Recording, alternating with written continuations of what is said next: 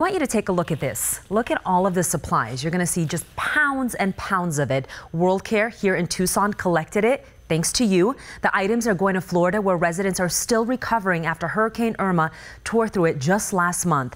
Governor Rick Scott toured the damage in the Florida Keys. The area took a direct hit with the hurricane when it made landfall as a Category 4. Initial estimates report Irma destroyed 25% of the homes there. Governor Scott says getting electrical service fully restored remains a top priority right now.